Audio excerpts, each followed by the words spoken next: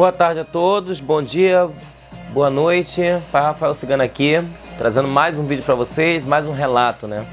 Hoje vocês estão vendo o cenário aí, o pessoal adorou o cenário, né? Ah, já falei para vocês aqui as pilastras que eu comprei, resolvi botar, comprei um LED aqui também, que seu fim para trás, ó, ele me deixa bem vermelho, né? E aí o que acontece? Tô com ring light aqui gravando, mas hoje não é para falar sobre isso, né? A história de hoje é sobre testemunhas de Jeová. O que eu já passei com o povo, testemunha de Jeová, tá? Para quem não sabe o que é testemunho de Jeová, são aqueles, aquelas pessoas, eu sei que ele classifica eles assim, tá? São aquelas pessoas que todo domingo vai na porta da pessoa, todo domingo tá na porta dos outros, batendo palma, entendeu? Chamando para você ouvir a palavra de Jeová, né? Dizem também que eles não podem doar sangue. Dizem também, ah, é um monte de coisa que eles têm lá, é tipo uma seita, entendeu? Eu não sei se é uma seita o que que é. Quem souber aí, comenta, bota aí nos comentários o que que é. E aí, menino, eu sei que eu já tive algumas passagens com esse pessoal da, da Igreja Testemunho de Jeová, né? Da, da congregação, né? Nem sei o que que é. E do salão, né? E aí, o primeiro que eu vou contar é o que que eu tinha mania de fazer. Quando eu era pequeno, eu tinha uma professora na, na terceira série. Na terceira série, eu tinha uma professora chamada Cíntia, que hoje em dia ela é até minha filha de santo, mas ela está um pouco afastada porque ela, ela teve uma filha. Mas ela era testemunha de Jeová. E aí, ela sempre me levava para o salão, né? Um, o, o salão, né? E eu lembro que eu tinha um livro amarelo bem bonito, com as letras vermelhas. Que lindo bonito. Lindo, lindíssimo. Eu ganhei esse livro, né? Eu devia ter uns 7, 8 anos. E aí, é, eu ia pro salão toda quarta-feira. Eu acho que era quarta-feira que ia pro salão e quando era no domingo tinha que se reunir lá no colégio onde eu estudava, porque a diretora, ela era também da Testemunha de Jeová. E aí, a gente se reunia para conversar né, e tal, e eu era o único que ficava no meio dos mais velhos. Vou abaixar a música, a música tá me atrapalhando. Eu botei música, mas a música tá me atrapalhando. Eu tentei achar meu fone, só que sumiu aqui dentro de casa. E aí o que acontece? Eu ia para lá e as pessoas palestravam, né, conversava, falava sobre sobre Jeová, né, as coisas deles lá.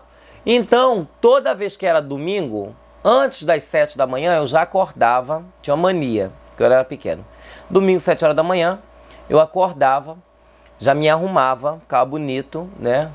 Das posses que eu podia, e ficava no portão esperando por eles, que eles vinham, né? Eles vinham, aí traziam uma, um carrinho de, de feira, né? Com um monte de livro para vender, para entregar folheto, umas mulheres bonitas, é tudo bem vestido e tal. Eles iam lá pregar, evangelizar. Eu acho que é evangelizar a palavra que dá, né? Quando eles vinham para falar comigo, eles já até me conheciam, porque eu sempre fui uma pessoa que falava muito. Quem me conhece sabe que eu falo até mais do que eu falo no YouTube, né? Então sempre falei muito. Então o pessoal ia lá, aí eles gostam de fazer assim: Você conhece Jeová? Vocês sabem quem é Jeová? A pergunta deles é sempre essa, né? E eu palestrava, menina, eu com 7, 8 anos, 9 anos, palestrava ali com os testemunhos de Jeová. Falava, conversava e tal, e por aí vai. E aí eu fui crescendo, né, e, e, continuando indo, eu não fazia parte da congregação, né, do negócio lá. Eu só ia visitar, né? E aí eu nunca entendi como é que funcionava a hierarquia deles, nunca entendi nada, nada, nada, nunca entendi nada deles. Até um dia que eu sofri um bullying, que o pessoal chama de bullying hoje, né? Antigamente é, falava que era zoação, né? Então eu sofri uma zoação pesada de uma pessoa que eu não sei se é pastor ou o que que ele é, um homem lá que, que ficava de frente lá na parada deles lá, né? Aí eu sofri uma, uma discriminação, né? Pelo fato da minha avó ser espírita. Então a, a, o colégio sabia que minha avó era macumbeira e aí eu sofri uma discriminação, né? Do, do homem lá, né? Do pastor. Eu vou dizer pastor porque eu não sei o nome. Então eu sofri uma grande discriminação e aquilo ali me fez chorar muito, né? Aí eu fui para casa. Quando eu fui para casa, eu falei para minha vovó, eu acho que eu sou de Xangô. Olha, eu, eu, bem novo. Vó, eu acho que eu sou de Xangô. Minha avó deve lembrar disso. Vó, eu acho que eu sou de Xangô. A minha avó falou, por que, meu filho, você falou isso? Porque fulano de tal fez isso e isso, isso comigo hoje, era de noite, né? E, e eu sofri uma injustiça. E eu, eu vou pedir Xangô pra me vingar, né? Pra, não, não foi vingar, pra me valer, né? Dá um pouco d'água.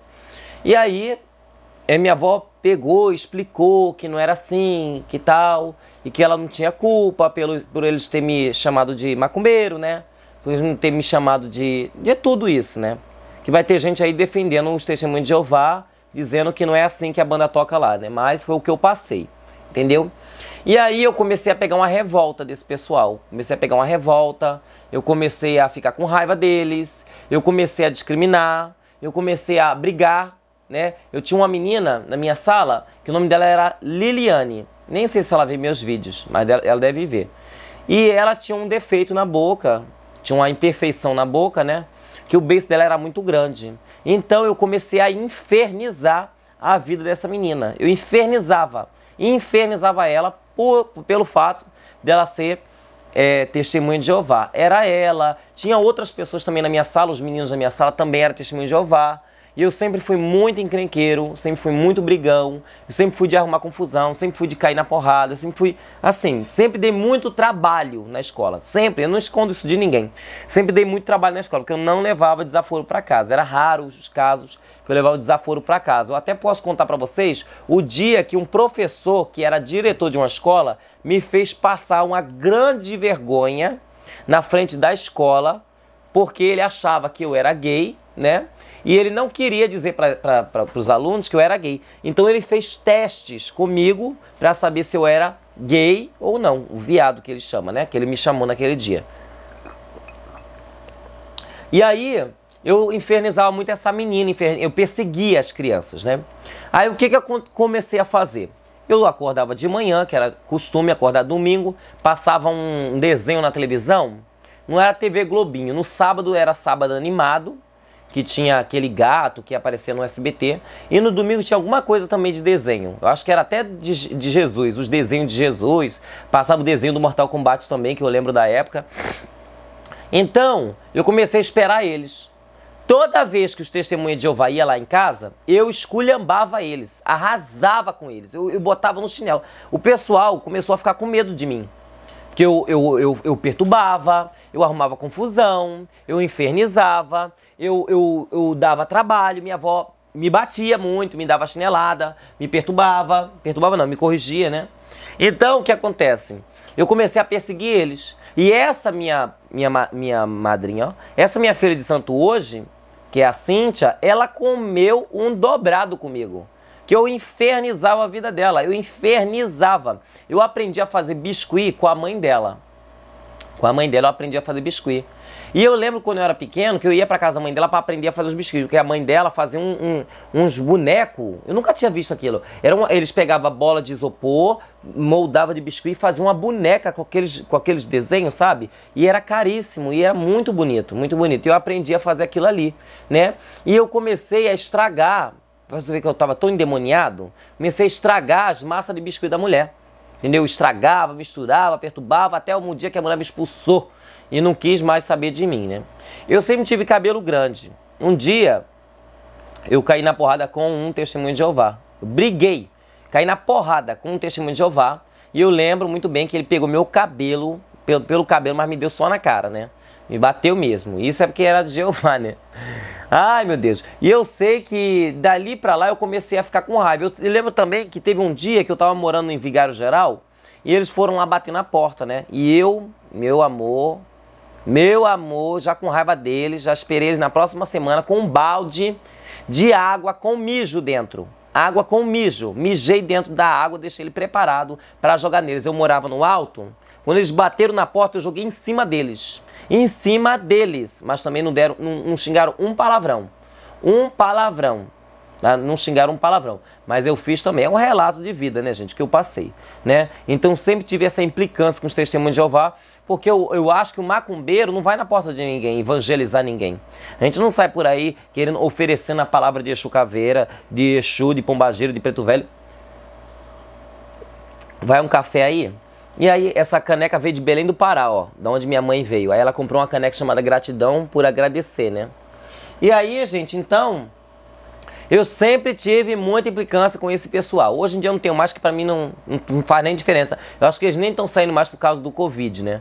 Mas implicava muito. Teve uma menina que sofreu na minha mão, o nome dela era Cássia.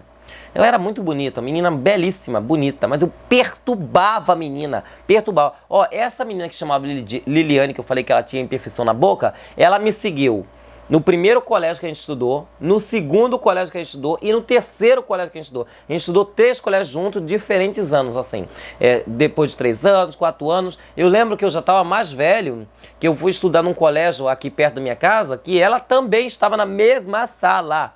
Mesma sala. Até o professor dizer que a gente ia casar. Deus me livre. Deus me livre guarde. Mas foi isso, né? É, eu saí de lá do, do, do, do, né, do salão, né? Não quis mais voltar, peguei implicância com a, a diretora. Depois, para você ver como é que um trauma ele é. Eu acho que toda essa implicância que eu tenho com o candomblé foi devido aos traumas que eu, que eu passei no passado todos os traumas que eu passei, é, todas as desilusões que eu tive, toda a fé que eu depositei e, e foi tudo frustração. Infelizmente foi frustração. E no Testemunho de Jeová a mesma coisa. É, eu, eu, acreditava muito, eu, eu, gostava, eu achava que o céu era tudo lindo, sabe? É, tinha os leões que andavam com a gente, tinha os lobos que andavam com a gente, e, enfim. Enfim, eu achava que, que tudo era lindo até eu descobrir que a vida era muito triste, amarga e pesada, né?